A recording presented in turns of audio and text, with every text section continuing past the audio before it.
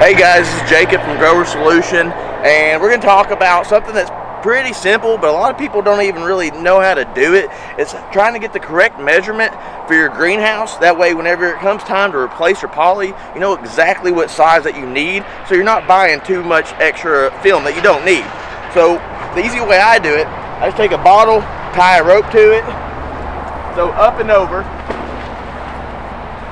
stare at the bottom, making my mark right here.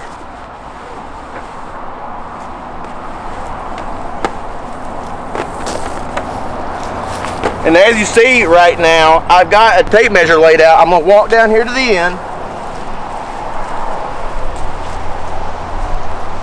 Lay my bottle out. And I've still got my mark right here. I'm just gonna walk it off.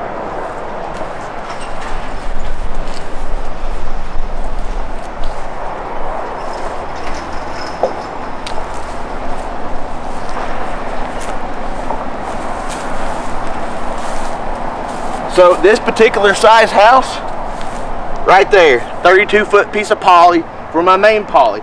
Now this house is a 20 foot by 32 foot Quonset. So for the length, what I would do is I'd buy a 34 foot length. That way I have a foot on each side. And uh, that way you don't have any waste.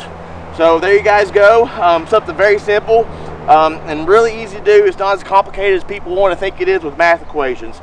Um, so thanks, and uh, we'll see you guys next time.